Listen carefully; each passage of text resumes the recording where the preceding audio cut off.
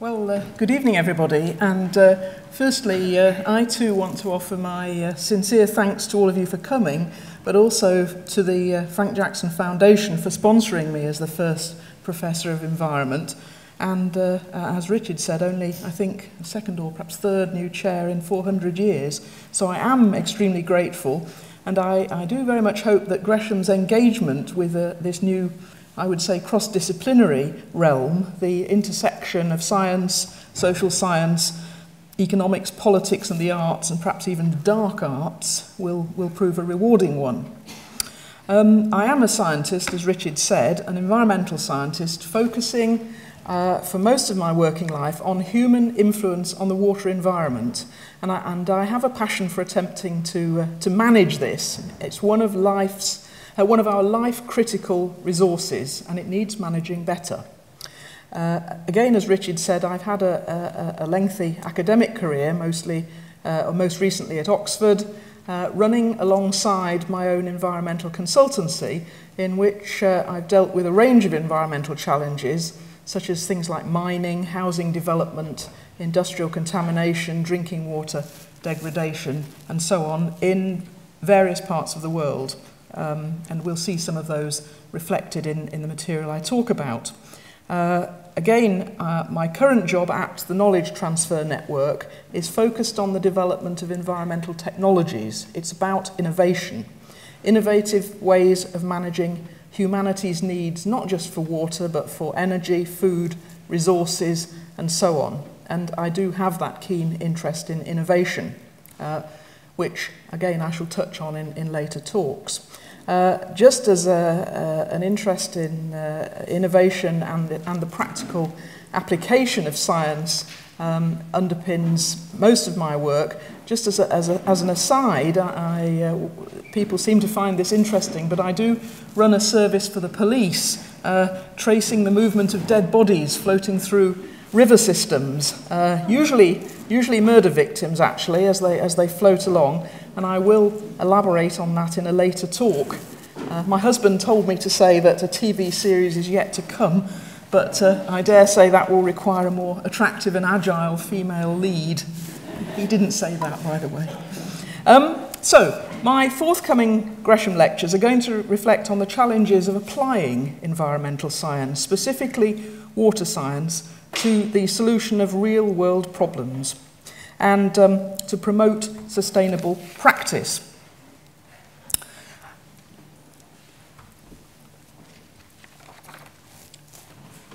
I, uh, if we move on. Um, the talks will tease out some of the themes around innovation, specifically open innovation and partnership, drawing on my own research and consultancy experience. Applied science, innovation and partnership are all contested terms, and for those of you who have specific and detailed interest in one or other of these areas, I hope my analysis won't be too superficial. But over the course of this year and the next two, I will be looking specifically at the linkages brokered by the nature of the communications that occur between people working in different arenas and from different perspectives, the science community, the politicians, industry, education, the voluntary sector, community groups, government agencies, professional bodies, and so on. Um, in fact, I will be allowing some of them, some of the representatives of the, these people, to share their views with you through recordings, and we will do some of that today. I'll be picking up on whether technology, genetics, biochemistry, physics, social media, the cloud, and so on, whether those provide new opportunities for creating sustainable solutions to environmental problems, or whether they raise more challenges than they solve. Uh, uh whether they are, for example, beneficial in assisting innovation, desperately needed actually in many areas, as we shall see later, or whether they're merely what I would call an illusion of agency. Uh, I should say that perhaps in no other realm of Gresham College's interest would it be necessary to say that the lectures won't be relaying apocalyptic catalogues of catastrophe, hazard, environmental or moral and conflict, but offering some thoughts on frameworks for considering environmental challenges and perhaps the basis for optimism. In my view, we are an innovative and resourceful species. However, um, firstly, I'd like to take you uh, on a little diversion into the realms of wickedness. For those of you who are like me are, are Gilbert and Sullivan aficionados, uh, and uh, I'll pause there because I'm not going to sing, and I don't expect anybody else to either. Um, the Wicked World it was a blank verse play by W.S. Gilbert. It opened at the Haymarket Theatre in 1873 at the beginning of one of the most famous collaborations or partnerships in history. And it was an allegory about conflict, resolution, uh, reconciliation, moral hazard, and the compensation that mortals are given for all the troubles that they must endure on earth. Conflict, reconciliation, moral hazard, and reward. Please do remember those. Alongside other environmental resonances, the plot shares some similarities with Shakespeare's Midsummer Night's Dream, where human and mythical beings, uh, people with very different ambitions, collide. And it also engages with the consequences that ensue when an all female world is disrupted by men, something which I'm guessing about half of us in the audience might regard with some wry amusement. Um, a female world was laughable in Victorian times and still is now too. Women are amongst those most seriously compromised by environmentally driven uh, inequalities. The Wicked World provoked a lot of dissent at the time, and in fact, Gilbert sued the Pall Mall Gazette, which had called the play indecent because of a reference to mortal love, whatever that might be. Uh, he lost the case on indecency, incidentally. The play was ruled to be indecent. I'm sure it wouldn't be by today's standard. Now, over the course of my lectures this year, I want to explore a little more about wicked worlds, wickedness, or specifically the concept of wicked problems, and how wicked environmental problems are conceptualized and addressed by these different stakeholder groups businesses, education, uh, voluntary agencies, and so on. But I'm going to start with a story. About 15 years ago, a colleague and I took a group of UK undergraduates on a field trip to Uganda. The field trip also involved our participation in a development aid partnership with a teacher education college in a remote district in the east of the country. It was actually about here somewhere, right in the middle of uh, nowhere, actually. Um, we were working with the National Teachers College Kaliro at their request to bring and install their first computers and to train their staff and students in their use. The computers were recycled from some of the high-tech businesses in Cheltenham, and uh, my students undertook a course in IT training and they worked together to raise the money to take the machines and the know-how out to Africa. This was, I think, a, a worthy objective which proved very successful and it instigated a 10-year mutually beneficial partnership and friendships, in fact, between the groups. Two or three undergraduates, in fact, even went to Uganda afterwards to start businesses uh, or development aid projects. Now, whilst in Kaliro, I undertook a small piece of research uh, with students from both institutions looking at water use and water quality around Ugandan villages. Now, Uganda is a very, very poor country. It has a low human development index of 0.456 in 2012. That's probably not very meaningful, but basically it lies 161st out of 187 countries, uh, a rank which, despite its newly discovered oil resources, it shares with Haiti. And some other statistics, courtesy of UNICEF, are shown on the slide here, and it is a very sobering picture. Now, there is no shortage of rainfall in Uganda, but there were, and there are, enormous water-related health problems.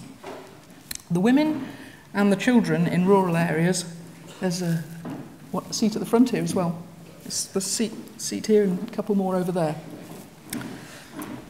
The women and children in rural areas collect water from wells or boreholes, and the poorer ones from puddles or swamps. And they carry it home in 25 litre plastic jerry cans. In the past, these containers would have been more picturesque but less effective. Here you can see some of the, the, uh, the sources that they use. Uh, here we go. Now, most of them have, uh, most of these people ha uh, had and have limited money for fuel to boil the water. And for some people, especially children, the pathogens in the water produce chronic illnesses that kill them. The pattern of water use was the subject of earlier and seminal I beg your pardon, earlier in seminal research by Gilbert White and his colleagues in 1972. And by the time we went to Uganda some years later, little had changed for the better, despite the efforts of a large number of aid agencies, scores of water policies, stakeholder engagement, and a commitment to the UN Millennium Development Goals. The Millennium Development Goals, by the way, were altered in the late 1990s. These are internationally set goals. They were altered in the late 1990s to say that by 2015, next year, the number of people without safe access to drinking water and sanitation would be halved. You can see that's actually a watering down, if you'll excuse the pun, of the, uh, uh, of the goal, which originally was that 100% of the population would have that access. Uh, it's not uh, an unreasonable goal in, I think, in a world that has put people on the moon 30 years before we were out there, and it can now produce supercomputers that can do unbelievably complex weather simulations and allow us to play online games with people thousands of miles away if we wish. Now, in fact, while the number of people living in absolute poverty in Uganda has generally decreased, welcome, that is, since the 1990s, Conversely, as a result of population growth and the withdrawal of some centralised provision, the water situation was static or had worsened in many villages between 1972 and the 1990s. And you will see here uh, that uh, the left-hand diagram here is water, uh, people with access to decent water supplies in urban and rural areas, urban at the top, rural at the bottom, and the same thing for sanitation on the right. The, the dotted lines are aspirational So this is, uh, this is the situation, a basically static position. So a lot of investment, goals set, very little progress. It's little better today. Women and children, uh, then, when we looked, were walking away from traditional sources and water was costing them a greater proportion of their income. Some sources had effectively been privatised that's a pretty, pretty sobering sight. I think if you look there, you can see the, uh, the padlock on the, on the borehole. Moreover, when we analysed the groundwater in a range of villages, we discovered some serious water quality problems illustrated on the slides. This is the environmental science part of what I do. Each village had a zone of shallow contaminated water, you see here, uh, underneath it, um, and it's represented in this diagram by a very simple parameter, which is electrical conductivity. Okay, it's a, a proxy for measuring how much is dissolved in the water. Uh, it works very well as a, as a proxy and is very simple to measure. But it reflects the fact that the provision of new boreholes in accessible locations in villages hasn't been matched by the provision of sanitation, as we saw in the previous slides. Seepage of sewage from pit latrines, laundry water, industrial effluent, and other waste materials into and through the ground was contaminating the soil and it was spreading. That's a small village, you can see the contamination zones there, and uh, here's a slightly larger settlement. You can see the contamination seeping away from the centre of the village towards the watercourses. The, uh, the contamination includes inorganic chemical parameters such as nitrate and nitrite and ammonia and phosphates and metallic ions, and also bacteria, including Escherichia coli from human and animal wastes. And this situation is known to the central government, who dispatch monitoring teams out from Kampala to collect and take reference samples back to the capital for analysis, but it's not generally known to the local people, most of whom are illiterate. Now, here we have an example of what I would call uh, a wicked problem. There's a, uh, a child there, and this is a typical scene at a borehole of people queuing with their jerry cans waiting for their water. Wicked problem, there they are again. Wicked problem that is very difficult to address and where solutions In this case, the provision of boreholes, new boreholes, by aid agencies trying to hit the Millennium Development Goals has had unanticipated consequences. And the story goes something like this. So, firstly, rapid population growth necessitates new sources of water, most of which, in the interests of cost, are boreholes or protected springs. And perhaps that's better than nothing. Ugandan national policy, in line with the Millennium Development Goals, provides a basis for boreholes to be installed such that the population living between, uh, within one and a half kilometres of a source is maximised. We want the most people closest to the source. Remember, a three kilometre walk with a jerry can for each person in the household and a baby. That's pretty tough.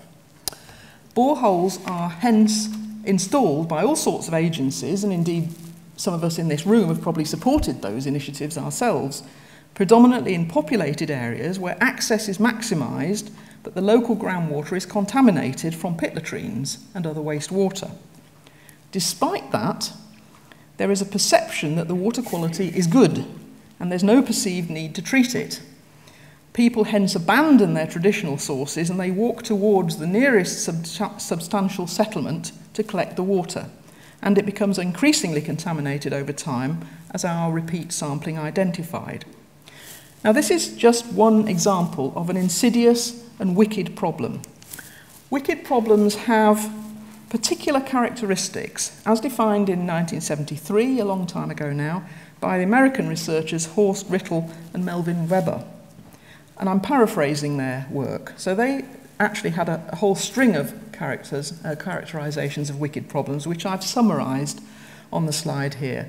They are problems that are very poorly formulated and complex, with interconnected physical, scientific, and human or sociological dimensions, where what happens in one place and one time affects what happens somewhere else at a different time.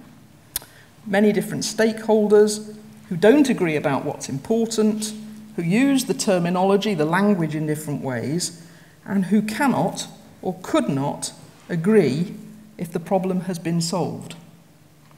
Now, environmental problems often have all the characteristics of wicked problems. The point is that wicked problems defy traditional linear solutions and they require much more innovative ways of thinking and partnerships in order to solve them. Rittel and Webber noticed that, noted that solutions were usually better or worse rather than absolute. You don't solve the problem, you just move a little further towards some sort of solution. And you're also almost inevitably dealing with scientific uncertainty.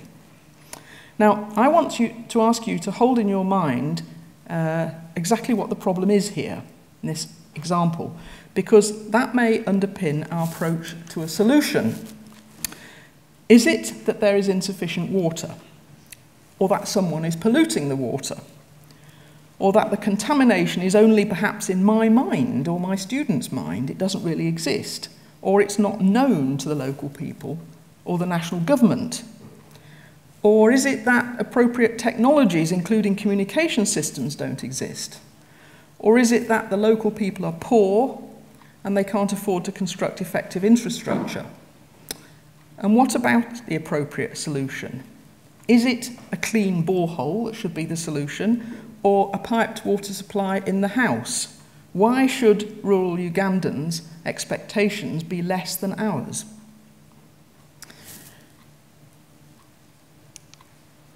Now, of late, there's been a, uh, in 2012 actually, a new paper describing something called super wicked problems uh, a paper by, again, another American group uh, headed by Levin.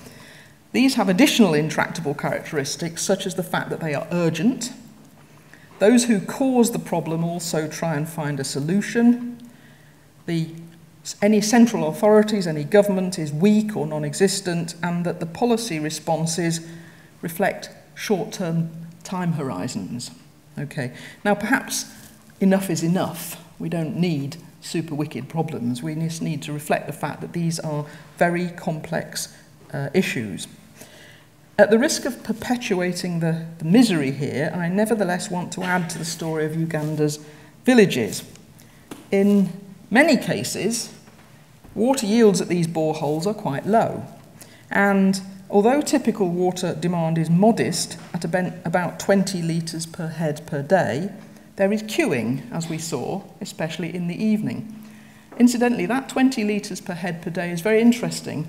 Uh, later on this evening, I shall talk about the flooding in Gloucestershire in 2007. 20 litres per head per day is, was then deemed by the emergency services as being the appropriate amount for to maintain minimum standards of civilization in a, count, in a county like Gloucestershire. I can assure you that it is not enough to do that. So here's the queuing. Now what happens in the queuing? Well, there's trampling around the installation, you get stagnant pools of water, which attracts mosquitoes, and before we know what's happening, malaria rates rise. Uh, privatised healthcare flourishes, and because the local inhabitants see this as an indication of progress, they increasingly migrate towards the population centres. So what we're seeing here is a double sort of contingent cycle of wickedness, of course. Now, the, there may be some solutions here, and I put very quickly three technological solutions.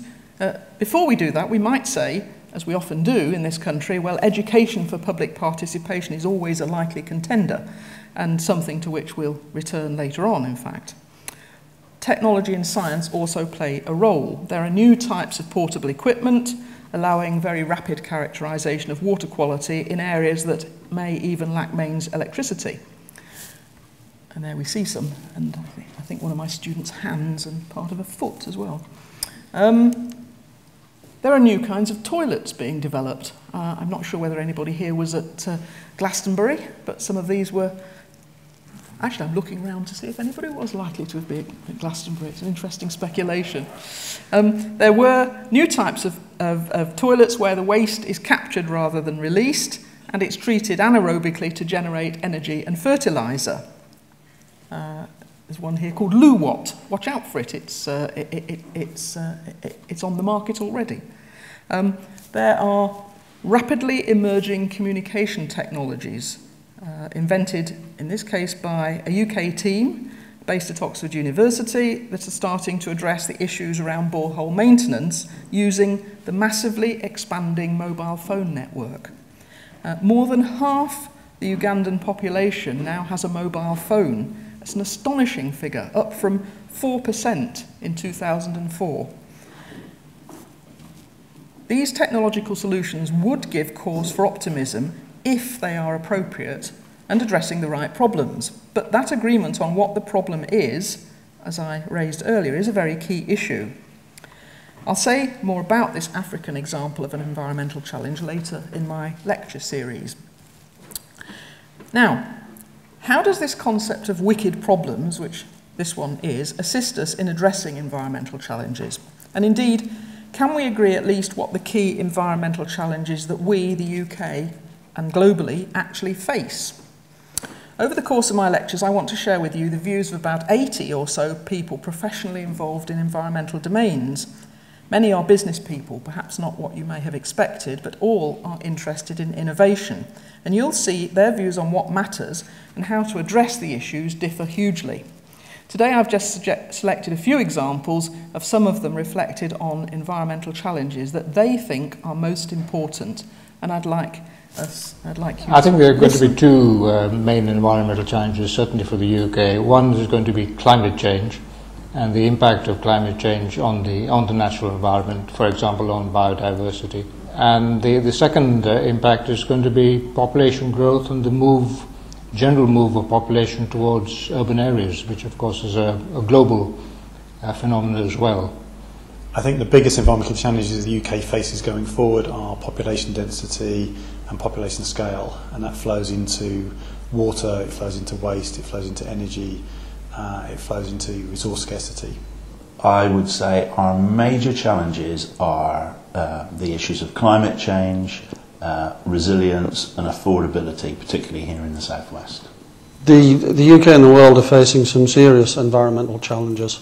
I think probably some of the biggest relate to um, water. Uh, we have plenty of water on the planet, but it's not in the right place, it's not in the right condition. Um, we're running out of fresh water, And unless we do something serious about protecting those resources and recycling those resources, um, some parts of the world, including parts of the UK, will find themselves running out of water. Although we've made significant improvements in um, curbing pollution from industry and uh, regulated businesses and also to water, we still have some way to go. So I think uh, the major challenges for us would be the environmental performance of regulated business, the quality of water, um, invasive non-native species, um, the management of catchments in such a way that um, we know how to deal with uh, both excess water and too little water. The main environmental challenges which I foresee for the UK as well as for Wales are, of course, those which are known to us already. For example, the management of carbon emissions and climate change and the, the consequences of climate change. That is to say, we need to understand how we're going to adapt to a climate that is going to change and how we can mitigate in order to prevent further climate change by managing uh, the greenhouse gases in the environment. The major environmental challenges facing the UK in terms of energy include where to get our future energy supplies from. That will mean having a balance between fossil fuels and existing fuel supplies uh, and new and renewable um, energy forms in the future. I think when I look at the major environmental challenges facing the world and the UK, they come from population growth and either global population to 2050 with an extra 2 billion people on the planet or um, 10 million people extra in the UK for the next 25 years, a 17% increase. That's a huge demand for water, for energy, um, it will have a big bearing on infrastructure, and all of this bears down on the ability of the natural environment to sustain us. It's hard to know where to start with the major environmental challenges of the UK. Also, I would say we don't see the environmental challenges in isolation. We see them as connected very much to our economic uh, machinery uh, and our social infrastructure.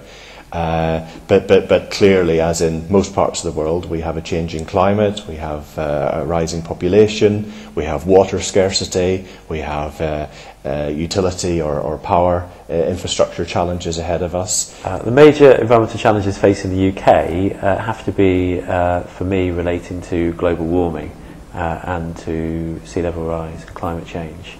Um, it's kind of the elephant in the room with a lot of discussions uh, just thinking back to the environmental movement, just 30 years ago it was all about recycling, um, direct activism against roads and things, and we've come on such a long way.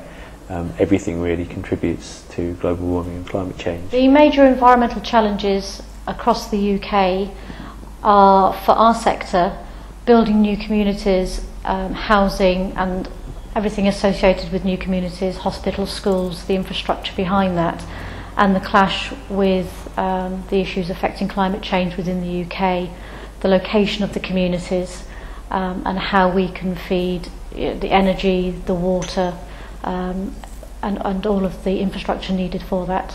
With climate change, flood risk is becoming more and more of an issue. It's always been an issue within the UK. If you think back to 1953 and the tidal surge that we experienced then when uh, over 300 people lost their lives.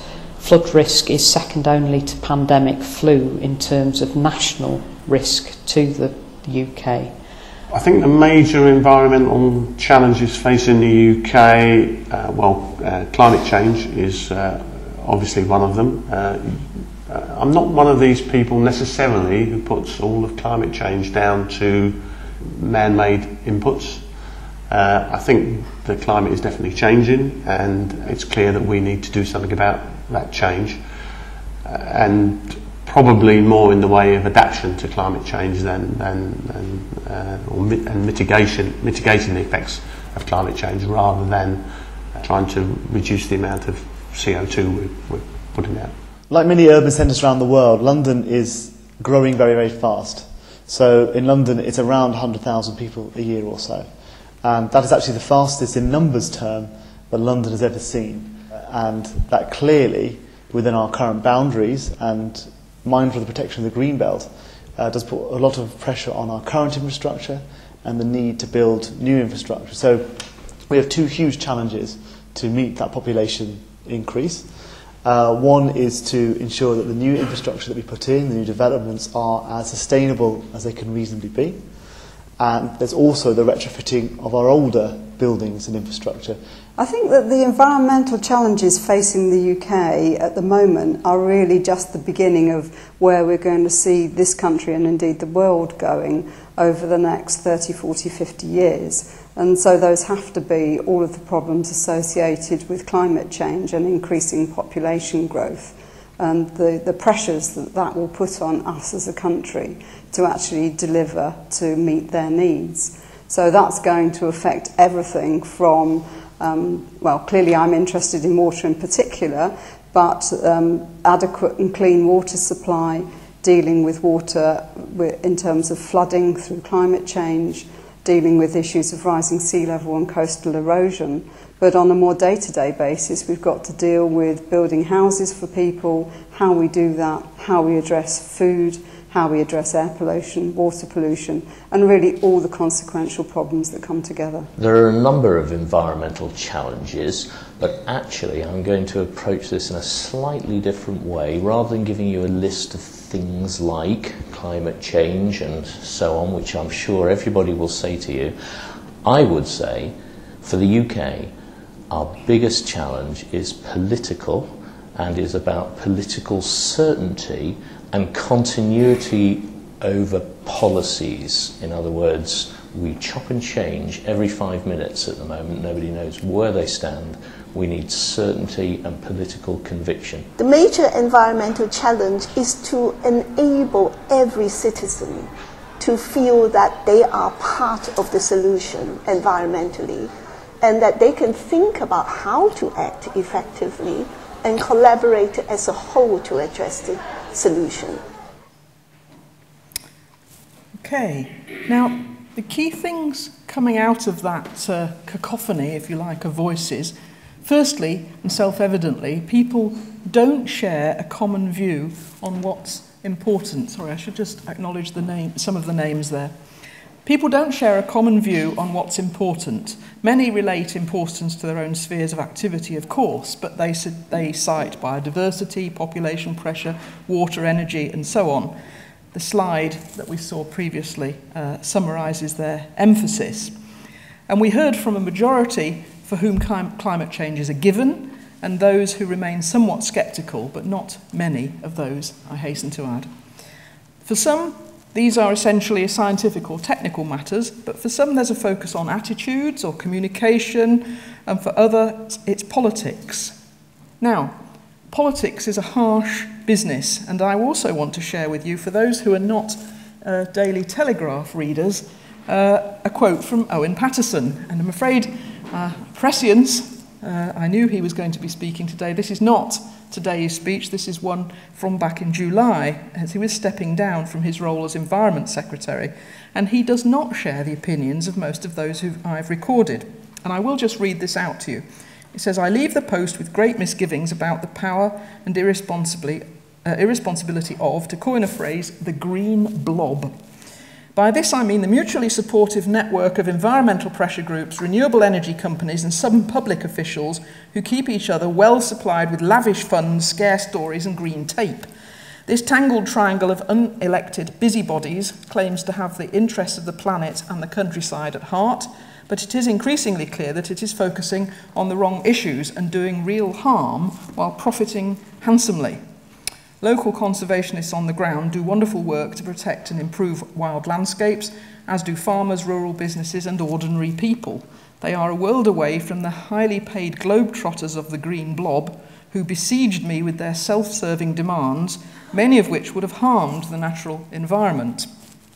Now, uh, his view is presumably also shared by 1.8 million people who appeared to have liked it on Facebook. I have a suspicion that somebody there has been doing a lot of tapping on a, on a button somewhere. Um, but he evidently is not alone in that view. Now, conflict, resolution, uh, reconciliation, moral hazard, and reward uh, Mr. Paterson asserting that rewards are seized by the environmental blob takes us back to G.S. Gilbert, of course, and his wicked world. The wickedness of the problems is essentially what stops us from solving them, even when new technologies might exist that provide some hope. Now, I want to take uh, two examples, much more briefly, of uh, challenges from different domains that illustrate this further. The first one is geoengineering, and I'm not sure whether everybody is familiar with the term. It's the embryonic science of manipulating the world's climate, deliberate large scale intervention in the Earth's natural systems intended to counteract climate change, whether human induced or not. Uh, it does presume that climate change is happening, of course, but we'll, we can set that aside for now. So what we might do is re, uh, altering the re-reflection of the Earth's uh, sun's energy by modifying the reflectance, the albedo of the Earth's surface through painting roofs white, or we could float reflective umbrellas in the upper atmosphere, We could increase the ability of the oceans to absorb carbon dioxide, or we could tinker with the rates of weathering of certain minerals so that they reabsorb carbon dioxide that's been released from buried or vegetative sources and burnt as fossil fuels, we might be able to affect the climate. And some of those technology, technology-rich solutions, you can see a picture here taken from New Scientist in 2009, um, some of these technology-rich solutions do seem to offer genuine possibilities, and a few have actually started to be explored beyond modelling at desk level. There have been limited experiments in ocean seeding, for example, probably, now, I say probably because that's uncertain. The problem is uh, that almost all the adjustments that are likely to be effective raise major ethical issues for multiple stakeholders. There's an excellent analysis of the likely effectiveness of some of these techniques done by the Royal Society in 2009 and you see on the diagram here uh, the left hand side of the diagram is things that are uh, low, if, low effectiveness uh, uh, sorry, low affordability, i.e. they're affordable. These ones are less affordable. And up the side here, uh, things that might be effective and things that probably won't be. Uh, and of course, uh, the things that we might like to do most in terms of affecting the climate or having most impact are also the most dangerous in terms of uh, international negotiations. So ocean seeding, for example, uh, is probably contrary to the international legislation on pollution. Global scale afforestation might not be as attractive as it sounds. Perhaps if it is, we might start by thinking about the whole of Surrey or Essex as an example before we start telling other people uh, to do it altering the upper, the albedo, the reflectance of the upper atmosphere by floating things in it, would raise the same challenges as were raised by the US drought-busting cloud seeding experiments of the 1950s and 60s, or incidentally the alleged uh, USSR experiments on cloud seeding being used as a weapon. These include uh, these used silver iodide powder, which was shot from the ground in rockets or spread from planes. Now, the failure to achieve liftoff for that kind of technology was not principally a matter of technical capability, it worked, but legal challenges from those downwind who alleged that their rainfall was being stolen. Uh, so disagreements there about the problem and the solution, and indeed the fact that intervention in one place would have uh, impacts, adverse impacts, in another place at another time. You can imagine, of course, the international repercussions if the reflectance experiments were overly successful and parts of the world were plunged into a Stygian gloom or even suffered poor summers. Uh, and then there is the whole business of moral hazard. If we rely on geoengineering, will that take us away from what most of our commentators in the recordings say is the need to reduce carbon emissions, rather than on recovering and sequestering fossil fuel derived carbon dioxide and other greenhouse gases out of the atmosphere. So, again, the wickedness of the problem, the multiplicity of the stakeholders, all of us in this case, produces a challenge in agreeing what the solution might be. Now, I want to conclude my talk tonight with a final example drawn from my own research. This is research into a notably wicked event in the traditional sense of evil and a generally wicked problem. Uh, a research project funded by the Natural Environment Research Council concerned the dialogue between scientists and local authorities, both the officers in local government and the elected members, your council members, on the subject of flood management. This is clearly relevant today, uh, following the events of January this year in Somerset and the Thames Valley, and as the newspaper reports demonstrated at the time, communication is a barrier. A recent independent headline was uh, said, How Weirdo Words Undermine the War on Global Warming. It was actually weirdo words from scientists they were commenting on. More familiar, perhaps, will be Eric Pickles MP commentary on flooding in the spring this year, when he accused fellow parliamentarians and the Environment Agency of disregarding the facts and failing to dredge rivers, whereas 20 or more professional bodies, although interestingly not the institution of civil engineers, suggested in print that dredging was not the only or indeed part of the appropriate solution. My own experience was as technical advisor to Gloucestershire County Council following the serious flooding events of summer 2007. And it demonstrated to me in no uncertain terms that even highly educated people can find it very difficult to communicate with different and multiple stakeholder groups, and hence find it impossible to have a proper dialogue about solutions.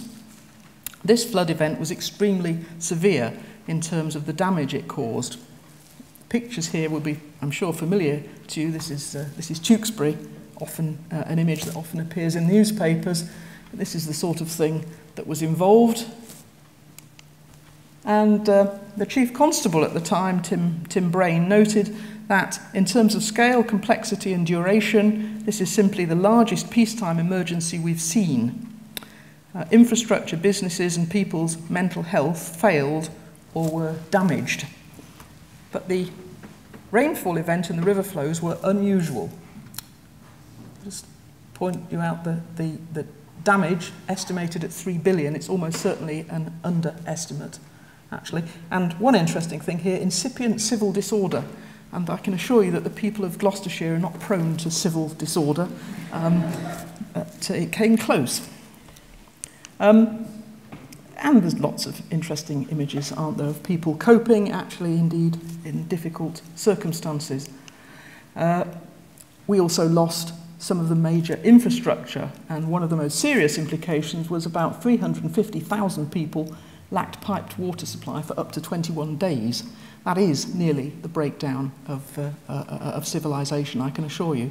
If you don't have a lavatory, you can't operate anything, actually. So, an unusual event. Uh, the diagram there, basically the blue is the more intense rainfall, and you can see that band of rainfall there in, in the summer, uh, a few days in the summer and July, sitting across the, the Severn Valley in the west of England. And if you see the crosses here, going from left to right in terms of water years, you can see the, uh, the event of uh, 2007 up there uh, in this one area where typical, the biggest annual flood will be somewhere down here. Uh, calculations somewhere around, in that particular instance, in excess of a 1 in 1,000 year event, which does, of course, raise issues of how you calculate that kind of uh, frequency. So what happened was a something called a scrutiny inquiry was set up by the county council and uh, indeed new legislation intended to manage the situation better followed The Gloucestershire inquiry generated facts which went to review undertaken by Sir Michael Pitt and subsequently was reflected in the 2010 Flood and Water Management Act.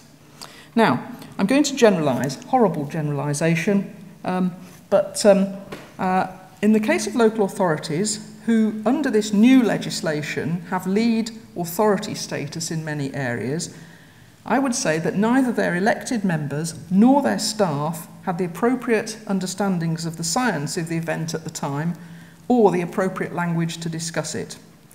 The scientists who were attempting to address the problems in their research provided what I would euphemistically perhaps describe as suboptimal service in explaining what they were doing and why. And they were particularly challenged, counsellors that is, uh, sorry, scientists, by explaining concepts such as the uncertainty in the modelling where the audience was non-technical. Now that's not to disregard the sterling and indeed heroic attempts to deal with the event as it unfolded, nor the attempts to remedy some of the issues over the last few years. Progress has been made, particularly in the development of something called sustainable drainage systems. Uh, and I'll just illustrate this with this example. The pictures here are uh, of a small housing area uh, here on this map. This is in Gloucester. Uh, this new housing built at the bottom of a catchment which was already intensively urbanised. Uh, and one might speculate as to why that was ever thought to be uh, an appropriate place for development. That's the housing area that was uh, under several feet of water. Some of the houses were designed for disabled people, uh, wheelchair users. The water was four feet deep. That's a difficult situation. Um, so there are attempts now to look at sustainable drainage systems holding the water back in the catchment. But that's, again, something for another talk. Now, in terms of what followed, the scrutiny inquiry, it revealed that some elected members previously involved in planning decisions for land around Tewkesbury were uncertain about the concept, for example, of a floodplain. Despite their many other abilities and qualities, they found engagement with scientific information very problematic. We took, undertook research on this, looking at their sources of information, their learning, the impact of the inquiry process itself on people's ability to engage. Uh, and we identified again that the wicked nature of some of these problems was the cause of the challenges. We went on to do another project called Project Foster. If you put your mind around Dr. Foster, uh, there is an acronym in there, something around flood organisation, science and technology, and so on. Um, we evaluated ways of sharing ideas between different stakeholder groups using different engagement styles and modes of communication. And um, I'm afraid I have to skip over this in the interest of time, some of it, but uh, it, was, it was an educational research, as it were, done and evaluated formally. And I will just pause on this one because one of the things we did um, uh, in terms of engagement was to use some different means of communication and uh, many of the participants in local authorities were very in, I found very interesting that some often somewhat elderly and without much computing experience or indeed any in some cases found themselves enjoying learning about flood science in the very strange online world of Second Life uh, courtesy of the Open University's virtual seminar rooms and uh, that's my avatar up there uh, much slimmer than the, the real thing of course now, um, the point about this is, is we were trying to look at ways of brokering the communications between these different stakeholders, uh, trying to get them to agree on solutions, uh, what the solution might be. Is it the cessation of flooding or the increase of resilience? Those are very different things, of course, in the flooding concept. We also looked at things like why are sustainable drainage systems proving so difficult to deploy? And the issue is that the wickedness of the problem is again a key challenge. We'll have to again pick up that uh, in subsequent talks. I want to conclude by saying that part of the key to addressing environmental challenges, oh yes, agreeing whether what the problem is, this, this is Stratford upon Avon actually, and the, the, the child here thinks flooding is great. Uh, she doesn't see a problem at all. Um, if her parents had known what was probably in the water, there might have been more of an issue, I suspect. She has bare feet, as you see.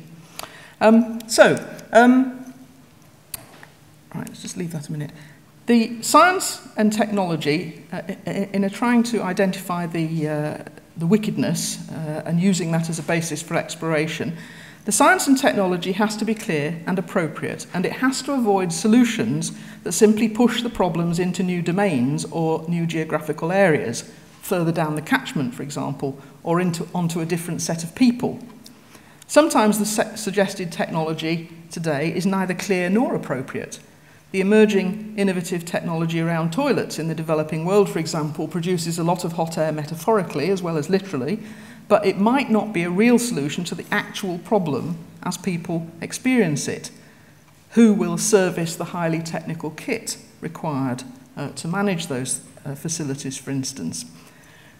In my view, too, the geoengineers do need to be free to research further into science of some solutions, even if it's potentially challenging to establish its validity and appropriateness, and that there may be a moral hazard in doing so.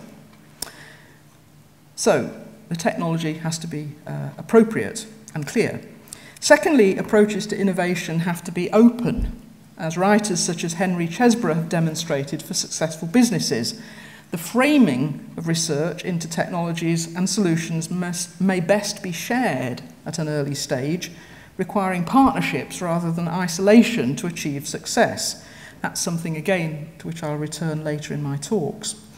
And thirdly, the involvement of the different stakeholders in genuine partnerships is required, as Sherry Arnstein pointed out many years ago in a key paper.